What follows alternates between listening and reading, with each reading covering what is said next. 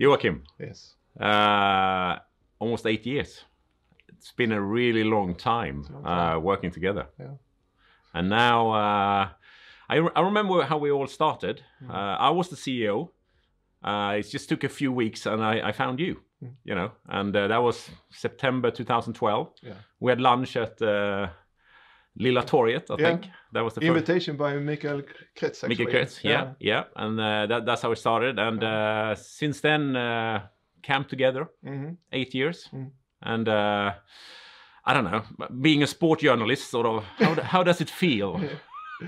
No, it, it feels uh, it feels really great to be honest. Uh, I mean, uh, I, I remember that first uh, lunch we had where uh, I um, I felt that uh, this is something. Uh, I felt that we had a connection.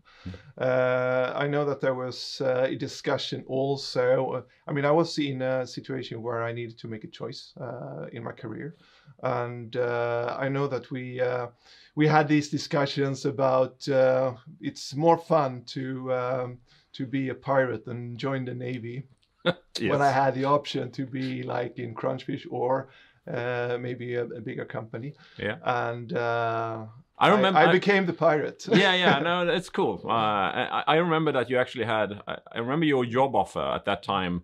You had a job offer more than twice as much salary. I, I think you had 125, Yeah. and I, I remember I said I, I can offer 60. Uh, that's what we, we we can't afford more, Mm. and still, still, I thought it was fantastic. You choose to uh, take half salary and come with us. Why did you do that? Do you remember? I, I, think it was a lot related to uh, being part of uh, a journey. Uh, I mean, this was early stage in the company. Yeah. Uh, we had uh, we, we had a uh, I would say an embryo to a technology that I felt was uh, right in time. Uh, I felt that uh, you were a good person. I met Paul; he was a good person. And I think that that team uh, were the fundaments to to build a, uh company. So uh, I think that was uh, basically what uh, what I was thinking back then. Do, do you also feel because I, I remember uh, you you being um, I, I would say more of a product guy than I am because you were saying well the product is not there yet that's what you said in September Mhm. uh, or October 2012 Yeah. And how right weren't, you? That it, and it, it took it took some time to get the product up to be really slick. Yeah. and, and I think we've had our you know it's, it's still going it's, it's gone through a lot of phases. And um, did did you did you also underestimate how hard it would be actually to to get the product to a level where it would perform It's it's always difficult to to estimate the effort that is needed. So uh, yes, uh, I, I did. But what I think even more underestimated was uh, the speed in the market. yeah because it's uh, it's all about timing. So Mm. you need to have like a product, you need to have a team, but you also need to have a market that is ready to to pick up your Sure. uh, your technology. yeah And uh, that I think was something I underestimated. And Yeah. uh, uh, I'm not the only one, Yeah. but uh, but still.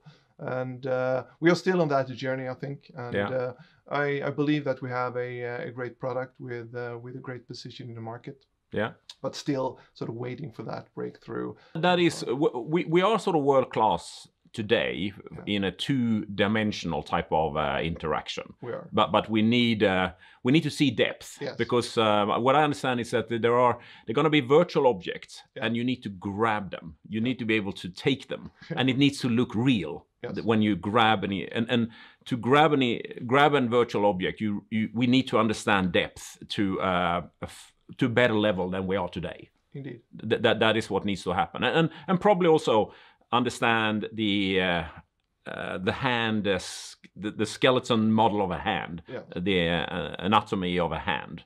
The, i these are the two things that we are. We, we, we need to we need to step up one more level. But when we've done that, uh, we are ready for big time. Yes. Yeah. Uh, do you believe in this vision that um, that uh, the AR glasses will eventually replace the mobile phone? We've heard that that uh, it won't be the mobile phone who will be the central device. Yeah. It will be the, these AR glasses. Do you do you believe in that vision? Will will that happen? Yeah, I do. Okay. Yeah. Yeah.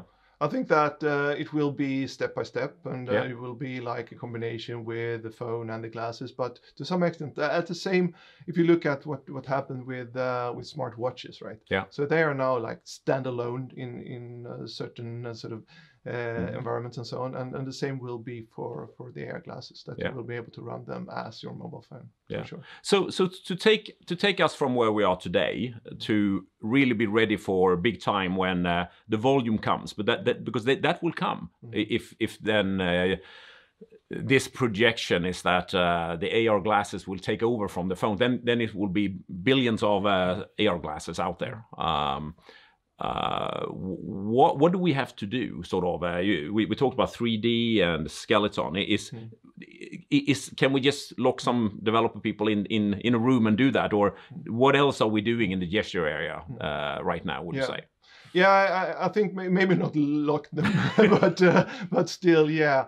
Uh, I, I think that uh, there is some some development needed for sure during the, uh, the Yeah. coming. Is it like, a uh, year years development or what? what, yeah, what- it's hard to say, but Yeah. uh, I mean, we, we need to follow because there, uh, as I mentioned before, there are a lot of things happening in, in the hardware side as well. Yeah. So we need to sort of be be in sync with that, and Yeah. uh, there are new sensors coming and so on. That, and I think the most important thing here is to to make sure that we, when when one of the big players, if that is Apple or Mm. Google or, or somewhere else, someone else, uh, launching their uh, their uh, smart AR glasses for for the consumer, that becomes sort of the uh, the big hit. Mm. Uh, I think it's important that we we have a technology that sort of can can support that kind of uh, um, expectations of the market that Yeah. that creates. Yeah.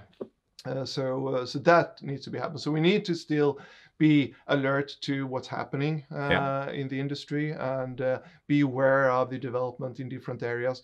But uh, yeah, to uh, to some extent, then focus on the development and uh, secure that uh, that product. take it sort of to the next level, sort of from where we are Yeah, today. So yeah. there's still another another lift that needs to be done. Yeah, another lift. Another lift, yeah, yeah. Yeah. But but your role now going forward gonna be wider, Mm. uh, and and I'm uh, I'm very happy that you are man enough to stay on uh, because I think it's. Um, uh, to have been the CEO of the company for so long uh, as you have been, and uh, and uh, staying on, uh, I, I think it, it tells a lot about your professionalism, uh, and and there are there's a role for you to play. So so tell me, what what what role do you see yourself playing?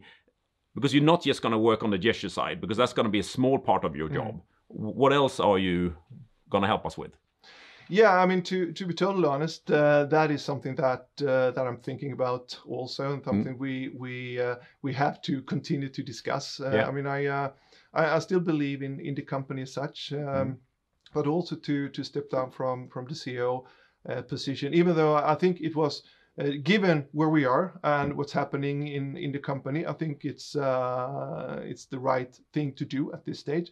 But uh, it might also be a, a right uh, right moment for me to to do something else. Yeah. So uh, so I need to to consider that uh, Yeah. as well, of course. Yeah. But um, with that said, I uh, I believe in the company, and I uh, uh, I think there uh, there is a role for me. There is a lot of things that need to be done. Yeah. And if I look at uh, the uh, the, the big uh, things happening now in the proximity side, uh, I definitely think that there are a lot of things related to, not the least, sales and marketing and uh, and building sort of the uh, the business parts and, and the Yes. fundaments in Because that's where you came from, in uh, sort of uh, yeah. before be- being a CEO. What, Mm.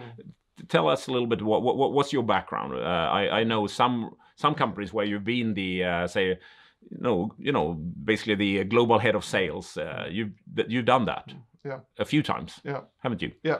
So uh, it has been various positions. I mean, I have been in the industry for like 20, 20 years, Yeah. a little more than that actually.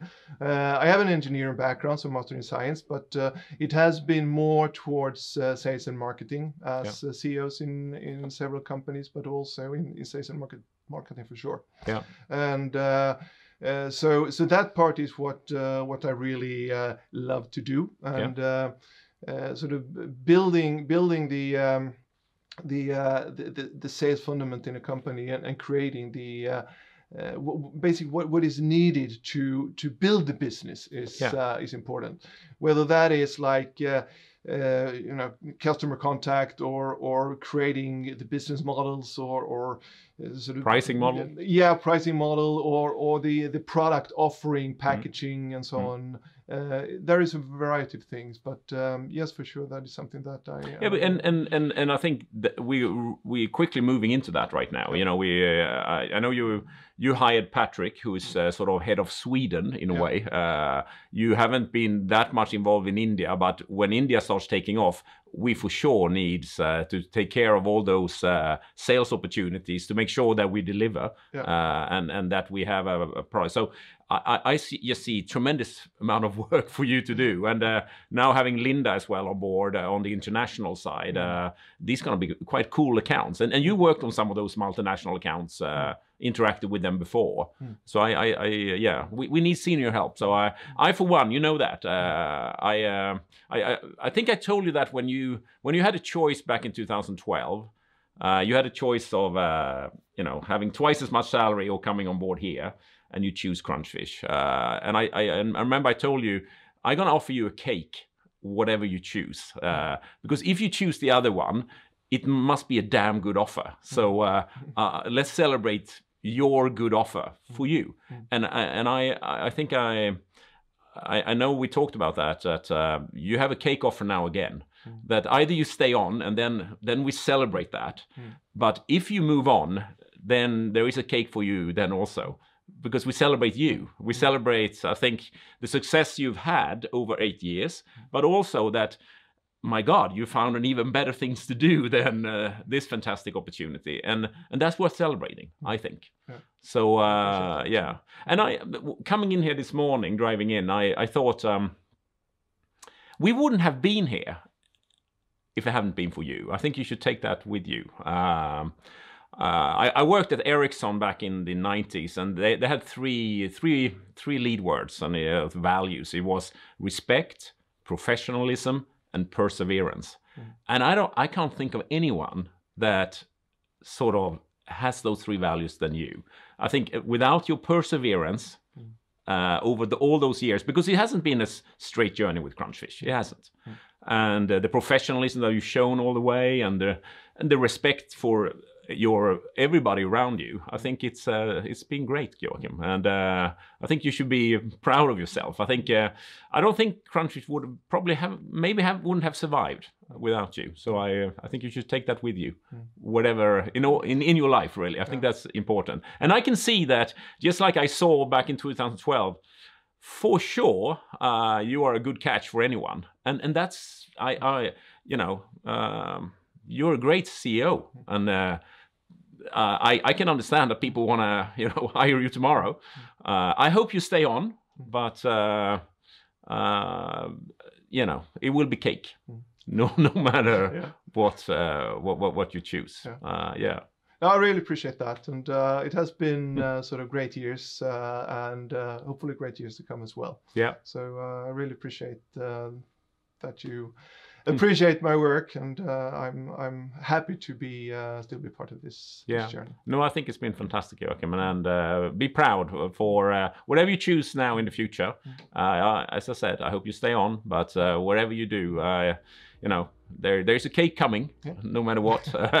and uh, thank you so much for all your great effort. Thank you. Thank you.